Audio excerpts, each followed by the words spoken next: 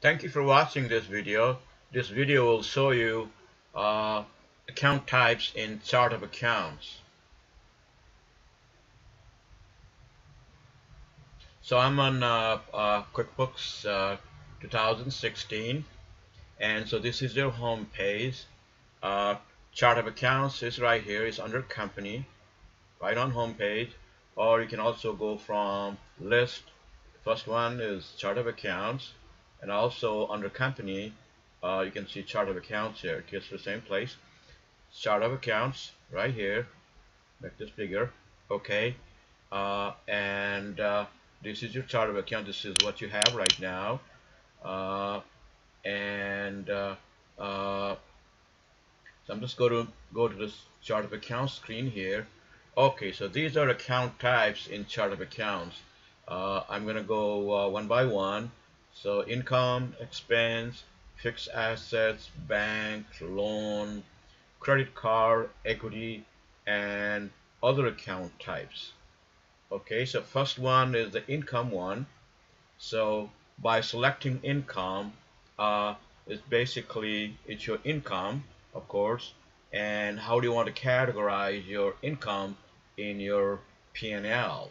So it could be your product sales, it could be your service sales, or discounts to customer, or uh, if you have a special type of uh, uh, services or, or selling products, you can itemize or categorize certain products as you like to see it.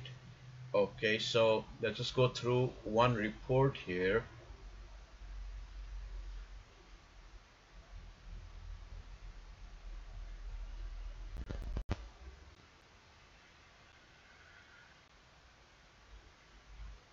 Okay so uh, uh, let's look at it here. Okay so this happens to be a catering service and they have food sales so that's their income type. So uh, uh, this is how you will see it in your income statement. So whenever you select uh, uh, we have separate videos for adding new accounts and coming up with the subcategory type. So this this one will focus on defining uh, the income, the account type only. Okay, so uh, let's do this. Okay, so right here, this is your account type. Okay, uh, income, you can create uh, uh, know all kinds of income type, but you don't want to create uh, all products. You want to create uh, uh, the main uh, main product type. Uh, so normally you won't have more than three or four income type in your income statement. You don't want to make a uh, you know 10 or 12 uh, income type in your income statement. That'd be too long for you. So the whole goal here is to fit um, all your uh, expenses and income in one page. If it's more than one page, then it's too long. So you have to consider that one too. So make this like uh, you know three or four, or if you just want one income, that's fine too. So normally uh, uh, in in small business type, you will have um, two or three type income. And expenses, uh, so you will have uh, expense categories. Normally, when you create uh, your chart of accounts, they will list all the all all the expense categories like in here uh, we have all the from here expenses and cost of goods sold. Expenses they're all in here. This is the one we're talking about expenses.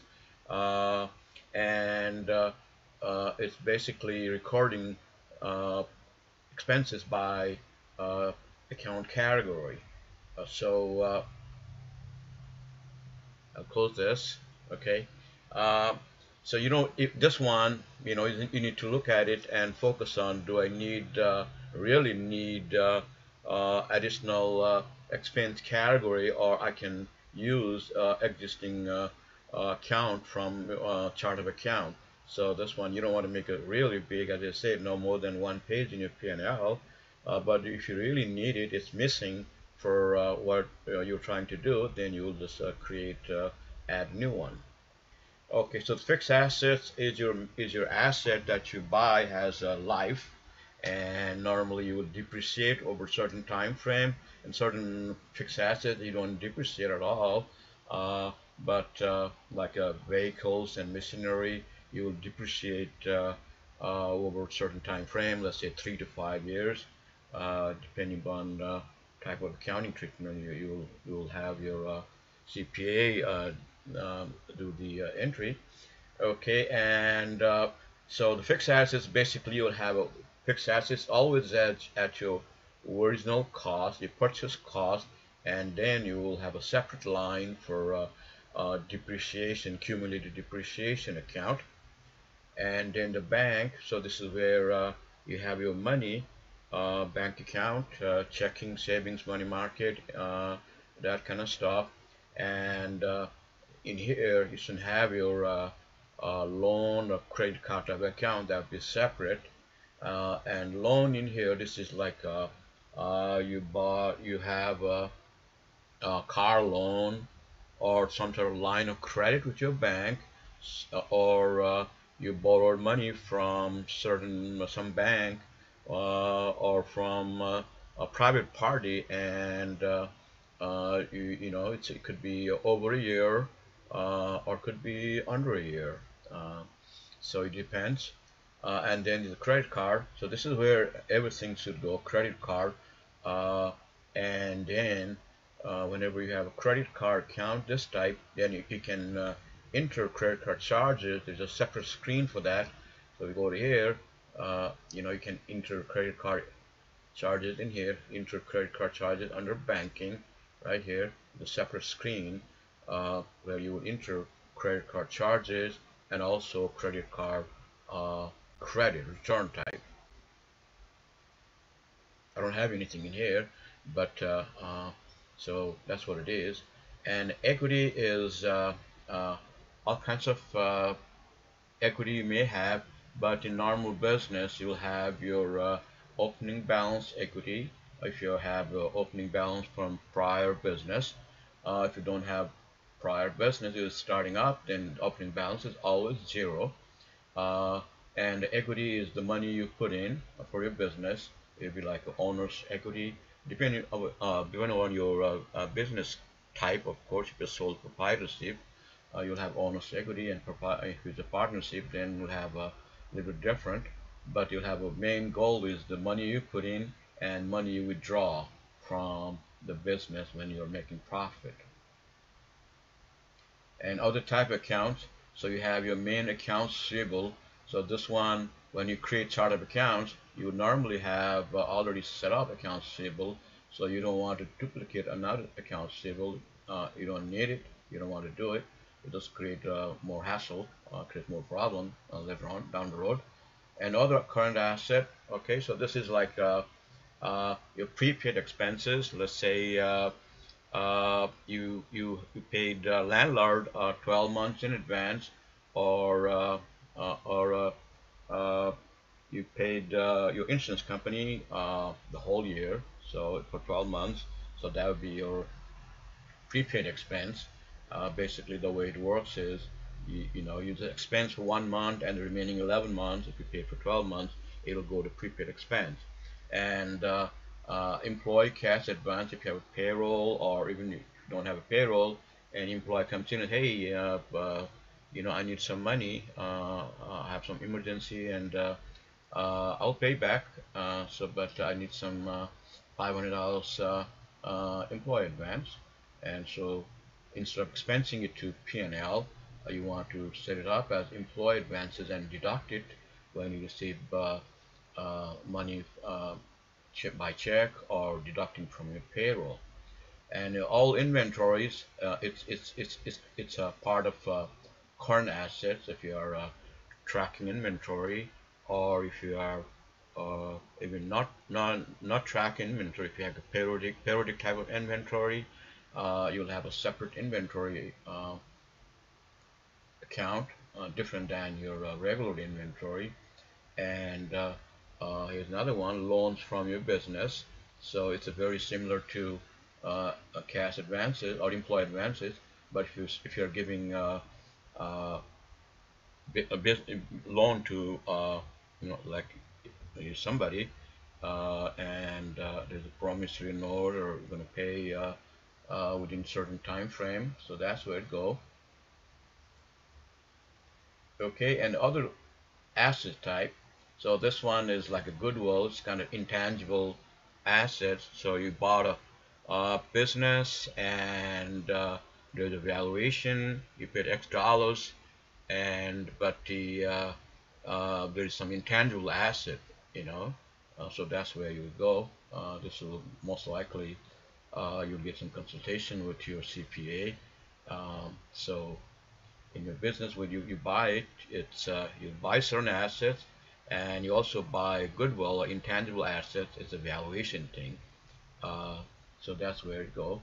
And if you have some long-term notes like over one year uh, receivable you know uh, you, you gave some money uh, to uh, certain people and uh, said uh, well pay us back in 36 months. That's a long-term notes receivable. That's where it's go. Other assets. Other asset so the difference between other asset and the current asset is basically it's a turnover thing. It's, this is within one year, and the other one is like a uh, it's over. It's, it will stay there. Certain certain things. Uh, there's no turnover here. The goodwill will stay there, uh, and long term, yeah, it, it, it, will pay back within a certain time frame, but it's more than one year. Security deposits. Uh, when you sign a lease, they may ask for security deposits, so that's where you go. You sign like a 36 months lease or something, so that's where it should go and accounts payable it's basically uh, uh, when you buy uh, items uh, from your vendor they'll give you terms and you want to enter bill first and uh, then you set up as uh, payable that means you want to pay that bill within a certain time frame and other current liabilities right here the sales tax goes to other current liability. So other current liability is very similar, opposite of the current assets. Everything happens uh, within uh, uh, one year. So security, sales tax, security deposits from retainers, from customer. When you sign a, a contract with your customer, you may ask for, uh, well, uh, before we do this job, pay us some money in advance, and we'll start working on it. So that's what it is and payroll taxes. When you uh, have a payroll, uh, the first thing is you deduct uh, uh certain payroll taxes from your employees and you contribute uh, payroll taxes as an employer. So that's where it goes. And within a month or so, you'll you'll pay back to IRS or state agencies. Okay, long-term liability it's like a big, uh, uh, you bought a house and a building and uh, you have 30 year uh, or 15 year uh, uh, loan. So that's where we'll go. And long-term loan, it's a little bit similar, but a little bit differently. it could be you have a business loan from like SBA type. So that's where we'll go. And notes payable, this that could be private party or or to um, to the bank as well. So long-term liabilities, everything over one year is long-term. And so here's your cost of goods sold. Uh, so this is the cost of goods sold, and this goes to your uh, your uh, income statement. Uh, so let's look at it here.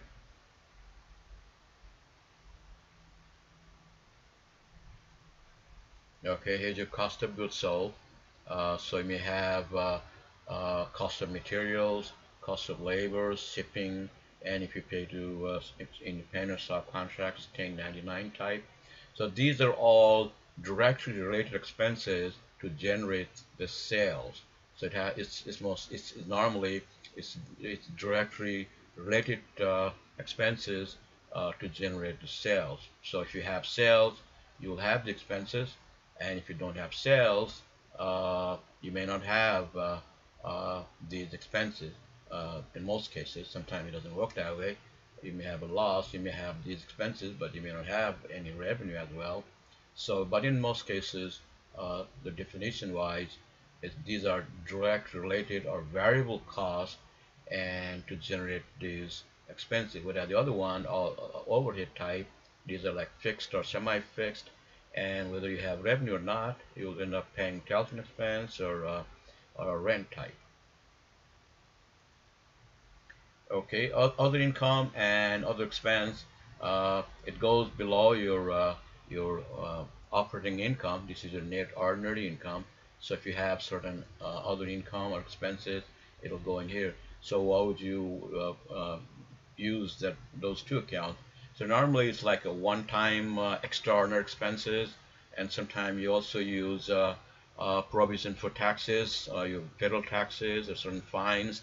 You want to see your operating income first and then uh, you want to see the, you know other income type like for example uh, uh, one time like say you sold some fixed assets uh, and you have a um, gain or loss so you, it could go under in here so most most of, most of the time the accountant will figure out uh, if it should go uh, under operating income or within your overhead or income type ordinary income.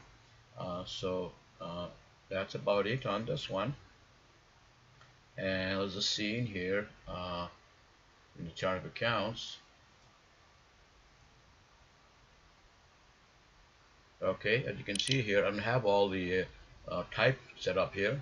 You know, the first one is bank, then other current asset, fixed assets, uh, other asset, earned current liability, equity, and income, cost of goods sold, expenses and other expense and other income. So these like a real uh, uh, account type, the bank uh, sort of account type, and it will flow like this uh, uh, in your chart of accounts. Well, thanks for uh, listening. please please come back again. please subscribe our YouTube channels we have uh, uh, two channels, VP Controller and New QBO. This is New QBO is for uh, QuickBooks Online only. And like us on Facebook